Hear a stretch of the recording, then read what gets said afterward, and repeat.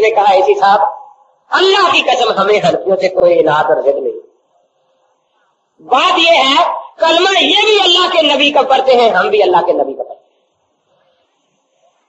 لیکن اس کے بعد ہم کہتے ہیں، جس کا کلمہ پڑھو، بات بھی اسی کی مانو۔ یہ کہتے ہیں، نہیں، کلمہ ہم نبی پاک کا پڑھیں گے، بات ابو حلیفہ کی مانو امام ابو حلیفہ رحمت اللہ کہتا ہے بڑے نیک آدمی۔ لیکن ان کو حدیثیں نہیں ملی تھی۔ ان کو حدیثیں نہیں ملی تھی۔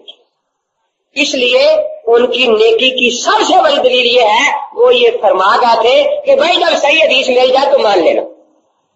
جب صحیح حدیث مل جائے تو اب ہم ان کو صحیح حدیث دکھاتے ہیں کہ فاتحہ کے بغیر نماز نہیں ہوتی۔ اور یہ کہتے ہیں، اگر آپ اس کو مان لیں گے تو اللہ کے نبی بھی راضی ہو جائیں گے، آپ کے امام بھی راضی ہو جائیں گے۔ اگر آپ نہ مانیں گے، اللہ کے نبی بھی ناراض ہو جائیں گے، آپ کے امام بھی ناراض ہو جائیں اب دیکھو اس کا بات کا انداز کیسا۔ اے صاحب نے مجھے پوچھا کہ آپ اللہ کے نبی کی احادیث نہیں مانتے؟ میں نے کہا جی مانتے ہیں، لیکن ان کی طرح ادھوری نہیں مانتے، پوری مانتے ہیں۔ کہنے کہ ادھوری پوری کا کیا قصہ ہے؟ میں نے کہا، وہ ابھی آپ کی سمجھ میں نہیں آئے گا، میں آپ سے ایک مسئلہ پوچھتا ہوں کہ میں کوئی مالی صاحب ہوں؟ میں نے کہا، کئی مسئلے ہر مسلمان کو جاتے میں نے یہی کہا، میں نے کہا، مسئلہ یہ ہے کہ خطبے کے بغیر جمعہ نہیں ہوتا۔ آپ یہ مانتے ہیں مسئلہ؟ اس سب کہنے کا بالکل مانتا ہوں۔ میں نے کہا، آپ جمعہ پڑھتے ہیں؟ جی پڑھتا ہوں۔ میں نے کہا، ذرا خطبہ سنا دے پھر آج۔ کہتا ہے، میں ایسی ہوں، میں خطیب تھوڑا ہوں۔ میں نے کہا خطیب نے جمعہ اپنا پڑھنا ہے، آپ نے اپنا پڑھنا ہے۔ میں بہرا تھوڑا ہوں، مجھے اس کی آواز نہیں سنتی۔ تو میں نے کہا، یہ بیچارے حنفی گارے ہیں، ان کو اپنے امام کی کراط نہیں سنتی۔ تو میں نے کہا اچھا میں آپ کے کان بند کرتا ہوں گا وہ کیسے؟ میں نے کہا، آپ دیر سے آئے، پچھلی صاحب میں بیٹھے جمعے میں۔ ادھر خطبہ شروع ہوا، ادھر بجلی غیر مقلد ہو گئے سپیکر بند ہو گیا تو آپ پچھلوں کو آواز سنائی دے گی خطیب کی؟ تو مسئلہ تو یاد ہے نا کہ خطبے کے بغیر جمعہ؟ تو میں نے کہا آج تو آپ پڑھیں گے نا، کیونکہ آپ کو آواز سنائی۔ کہنے لگا نہیں، میں آج بھی نہیں پڑھوں گا۔ میں نے کہا کیوں؟ آپ کو سنائی آواز نہیں دیتی۔ کہنے لگا نظر تو آ رہا نا کہ خطیب کھڑا پڑھ رہا ہے کچھ۔ تو میں نے کہا بیچارے کھڑکیوں کو نہیں پتا کہ ہمارا امام بھی مسئلے پر کھڑا ہے۔ میں نے کہا اچھا میں آپ کی آنکھیں بند کرتا ہوں۔ تو وہ کیسے؟ میں نے کہا آپ اس وقت جمعے کے لیے تشریف لائے۔ جب خطیب خطبہ کر کے جمعہ پڑھا رہا ہے، آ کر آپ نماز میں شریک ہوئے۔ آپ نے خطیب کا خطبہ کانوں سے سنا؟ کہ نہیں۔ میں نے کہا آپ سے خطبہ پڑھتے دیکھا؟ میں نے کہا نہیں۔ میں نے کہا آج تو پھنسے ہے نا پھر۔ اور مسئلہ آپ کو یاد ہے کہ خطبے کے بغیر جمعہ آج تو پہلے بیٹھ کے خطبہ پڑھیں گے، پھر ملیں گے نا۔ کہنے لگے نہیں نہیں۔ پورا مسئلہ یوں ہے، خطبے کے بغیر جمعہ نہیں ہوتا۔ لیکن خطیب کا پڑا ہوا خطبہ صاحب کی طرف سے کسی کو آواز سنائی دے یا نہ سنائی دے یا کوئی بعد میں ہی جماعت میں ملے، اس کی طرف سے بھی خطبہ۔ اور کوئی ایک آدمی بار جا کے یہ نہیں کہتا کہ میں بغیر خطبے والا جمعہ پڑھ کے آیا ہوں۔ کوئی کہتا ہے؟ پتا یار کل بھی خود پتہ نہ پڑھتے۔ تو اس کا حل یہی ہے۔ یہ جمعہ پڑھ کے نکلے، آپ بھی ایک نوجوان کو پوچھے کہ آپ جمعہ پڑھا ہے؟ جی پڑھا ہوں۔ خطبہ آپ نے خود پڑھا تھا؟ نہیں، تو جلدی سے آپ ہی کاغذ پر لکھ لیں کہ آپ کا عقیدہ یہ ہے کہ خطبے کے بغیر جمعہ ہو جاتا ہے۔ یہ لکھنا نا۔ کہ آپ کا عقیدہ ہے کہ خطبے کے بغیر جمعہ اب انہیں کہو کہ آپ یہ حدیث اپنے مولوی صاحب سے لائیں کہ خطبے کے بغیر جمعہ ہو جاتا ہے اور پوچھ کر آئے کہ حضور پاس انہوں نے کتنے جمعے بغیر خطبے کے پڑھائے تھے اور میں یہ حدیث لاتا ہوں کہ خطبے کے بغیر جمعہ نہیں ہوتا۔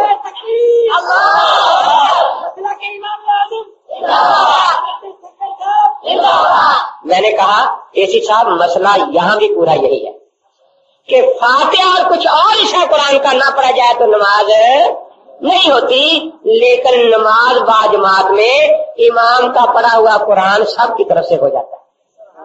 کسی کو آواز سنائی دے یا یا کوئی رقو میں ہی ملے، جو رقو میں ملا اس نے امام کی فاتحہ سنی، اپنی پڑھی، لیکن اجماع ہے چاروں آئما کا کہ اس کی رکت ہو گئی۔ احادیث سے بھی ثابت ہے کہ اس کی رکت ہو گئی۔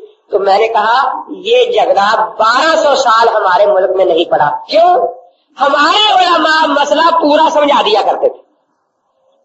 ہمارے علماء مسئلہ پورا سمجھا دیا کرتے تھے، یہ جب سے ادھورا سمجھانے والے آ گئے یار مسئلے میں لڑائی ڈال دے رہے تو جھگڑا صرف اتنا ہے۔ اس کے بعد اسی صاحب نے راجا صاحب سے پوچھا کہ راجا صاحب، دیکھو امین صاحب نے کیسی عام فہم انداز میں بات سمجھا دیا ہے۔ آپ کو بتا سمجھ آ گیا ہے؟ جی کہتا نہیں جی مولوی کی مولوی سمجھتے ہمیں نہیں پتا چلا کیا کہا ہے امین صاحب۔ میں نے کہا، تجھے یہ جھوٹ یاد ہے کہ ابو علیفا کو حدیث نہیں ملی؟ میں نے فوراً مسلم امام آدم اردو ترجمے والی نکال کے اسی صاحب کے ہاتھ میں دی۔ خود امام صاحب یہ حدیث روایت فرما رہے ہیں کہ نے فرمایا کہ جس نماز میں فاتحہ اور کچھ اور حصہ قرآن کا نہ پڑھا جائے وہ نماز نہیں ہوتی۔ میں نے کہا راجا صاحب، امام صاحب یہ حدیث روایت فرما رہے ہیں۔ اسی صاحب آپ ذرا پڑھ کر سنا دے انہیں۔ اور اس نے یہ کہا ہے کہ امام صاحب کو یہ حدیث نہیں ملی۔ لیکن اس کے ساتھ امام صاحب دگڑی حدیث بھی روایت فرما رہے ہیں۔ کہ جس کا جو امام کے ساتھ نماز پڑھے، تو امام کی کراط اس کی طرف سے بھی تو ہم یہ نہیں کہتے کہ کراط کے بغیر نماز ہوتی ہے۔ ہم کہتے کہ امام کی کراط مفتی کی۔ جیسے خطیب کا خطبہ، مؤذن کی اذان شو پورے محلے کے لیے کا اقامت کہنے والے کی اقامت پوری جماعت کے لیے، آپ کبھی نہیں کہتے ہم بغیر اقامت کے نماز پڑھ کے آئے ہیں۔ امام کا سترا ساری جماعت کے لیے کافی ایک امام کا سترا سامنے ہو تو کوئی یہ نہیں کہتا کہ ہماری نماز آج بغیر سترے کے ہوئی ہے۔ آپ کے یہاں رمضان شریف میں ختم ہوتا ہے پرانے پاک تراوی میں۔ تو آپ پھر بعد میں کیا دعا مانگتے ہیں جب ختم ہوتا ہے کہ یا اللہ، قاری صاحب کا قرآن قبول کر لینا۔ یہی ہوتا ہے۔ آپ کا تو نہیں ختم ہوا نا جی؟ نہیں۔ اور غیر مکل کیا دعا مانگتے ہیں کہ یا اللہ امام کی فاتحہ ایمان کا قرآن ہماری فاتحہ قبول کر لیں کیونکہ انہوں نے ایک سو تیرہ سو کے پیچھے نہیں پڑھی نا تراویوں میں۔ نہیں پڑھی نا؟ اب ایک سو تیرہ سورتیں ان کے امام نے پڑھی، یہ بھی کہتے ہیں ہماری طرف سے ہو گئی۔ کہتے ہیں نا؟ وہاں یہ نہیں کہتے کبھی دعا نہیں کرتے کہ یا اللہ حافظ صاحب کی کہا کا سارا قرآن قبول کر لینا، یا اللہ ہماری صرف فاتح ہی کرنا قبول۔ کیونکہ ہم نے صرف پیچھے فاتح پڑھی اور کچھ پڑھا۔ اگر ایک سو تیرہ صورتیں امام پڑھے، وہ سب کی طرف سے ہو جاتی ہیں، تو بھائی ایک سو چودہ صورت کیوں نہیں ہوتی؟ اب دیکھیے، یہ تو تھی بات حدیث کا ایک جگہ مناظرے میں ان کی گستاخانہ انداز پر یا بات یاد آئی۔ میں نے جب یہ حدیث پیش کی تو ان کا مناظر کہنے لگا کہ یہ اللہ کے نبی کی حدیث ہے میں نے کہا بالکل میں قیاس کروں نہیں کچھ میں نے کہا، نہ۔ میں نے کہا، کیوں؟ میں نے کہا، ہمارے امام فرماتے ہیں کہ حدیث آ جائے تو قیاس نہیں کرنا چاہیے۔ ہمارے امام کیا فرماتے ہیں؟ حدیث آ جائے تو قیاس ہے۔ میں کروں گا۔ میں نے کہا، وہ تیری مرضی ہوگی، میرا امام تو منع کرتا جی میں کروں گا؟ میں نے کہا کر لو اپنے لیے، لیکن ہمارے لیے نہ کرنا۔ اب اندازہ لگاؤ، بات رونے کی، اس نے کیا کیا اس نے کہا، اگر امام کی کراط سب مقدیوں کی کراط ہے، تو میرا قیاس ہے کہ پھر امام کی بیوی بھی سب مقدیوں کی بیوی ہے۔ اور اس پر نعرے لگے مسل قید حدیث زندہ باد۔ کسی کے پیشانی پر بل نہیں ہے، اللہ کے نبی کی حدیث کا مذاق اڑانے پر۔ میں نے کہا، میں نے کبھی دیکھو، ہمارے یہاں ضرورت کے وقت قیاس ہوا، امام نے کیے اور ہم ان پر عمل بھی کر رہے ہیں۔ آپ کے مولوی نے آج پہلے قیاس کیا ہے، آج اس پر عمل ضرور ہو جائے۔ اس بیچارے کو یہی حسد ہے کہ ابو علیفا کے اتنے کیا پر امت عمل کر رہی ہے؟ اور میں نے آج ایک ہی کیا ہے کسی نے؟ اس پر عمل اب ایک طرف سے غیر مکل اٹھا۔ ایسی بات نہ کرو۔ میں نے کہا، بے غیرت بیٹھ جا۔ اللہ کے نبی کی حدیث کا مذاق پڑا ہے، تجھے غیرت نہیں آئی۔ اب میں نے صرف یہی کہا کہ تیرے مولوی کا کیا اس پر عمل کرنا چاہیے؟ اب تجھے غیرت آئی مولوی کے بارے میں۔ اللہ کے نبی کے بارے میں تجھے غیرت نہیں آئی۔ تو مقصد یہی ہے کہ یہ بیچارے احادیث ادھوری بیان کرتے ہیں پوری۔ آپ کے یہاں تبلیغی جماعت ہے؟ چھ نمبر بھی یاد ہے۔ بس پھر ان کے چھ نمبر بھی یاد کرنے ختم کرتا ہوں حضرت کا بیان مفصل ہوگا انشاءاللہ۔ ان کے بھی چھ نمبر ہیں۔ ایک بیچارہ طالب علم تھا، پڑھنے گیا کہیں عربیوں کے مدرسے میں۔ اب کہاں جاؤ؟ پڑھنا پڑتا تھا، یہ سر بھی یاد کرو نہ یاد کرو، یہ بڑا تنگ آیا۔ ایسا مدرسہ ہو جہاں بغیر بڑے سمجھے ہو۔ اب بیچارہ بیٹھا ہے۔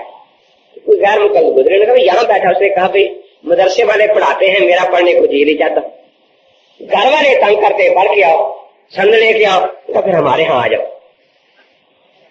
وہ لے گیا اس نے سند لکھ دی یہ لے لو۔ اس نے کہا سند تو لکھ دی لیکن یہ تو مجھے پڑھنی بھی نہیں آتی کیا لکھا ہے آتا نے کہا کہ ہم اتنا لمبا چڑھا نہیں پڑھاتے بس چھ نمبر یاد کر لو۔ اچھا جی کون سا؟ ان کا پہلا نمبر یہ ہے کہ جب کسی سے ملو، وہ جس حال میں ہو، کون کہو؟ حضرت اس قسم کا رومال کس حدیث میں آتا ہے جی؟ یوں بیٹھا کس حدیث میں آتا ہے؟ کس قسم کی ریڑھی کس حدیث میں آتی ہے؟ اس قسم کی اینک کس حدیث میں آتی ہے؟ اس طرح کی ٹیپ کس حدیث میں آتی ہے؟ اب وہ بےچارے بھاگے کریں گے کہ ماری صاحب کی حدیث نکال کے دو وہ حدیث والا آ گیا۔ وہ حدیث کے بغیر بات ہی نہیں کرتا۔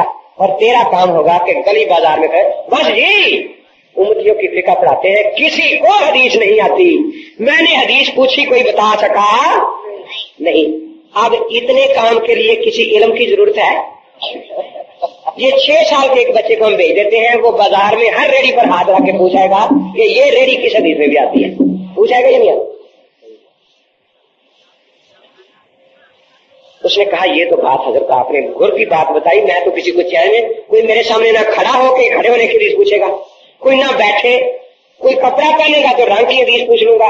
یہ تو آپ نے ایسا کام بتایا کہ کسی کو میں چین سے اب بیٹھ نہیں دوں لیکن ایک دل میں خدشہ ہے تھوڑا سا۔ تو وہ کیا کہ آخر میں بھی وہاں جا کر کوئی کام کروں گا یا نہیں؟ اگر کسی نے مجھ سے پوچھ لیا کہ یہ کس حدیث میں ہے، پھر۔ اس نے کہا، ڈرتے کیوں ہو؟ دوسرا نمبر یاد کر لو۔ یہ کیا؟ یہ کہا، جب تم سے تو پوچھے نا کہ یہ تمہاری حالت کس حدیث میں ہے، تو فوراً جواب دینا، کس حدیث میں منع ہے؟ کس حدیث میں منع ہے۔ اور پورے علاقے میں شور مچا دینا کہ کچھ نہیں آتا ہنفیوں کو۔ اس اہل کے ثبوت کی حدیث مانگی تھی، اس کے منع کی مانگی تھی، نہ وہ ملی نہ یہ ملی۔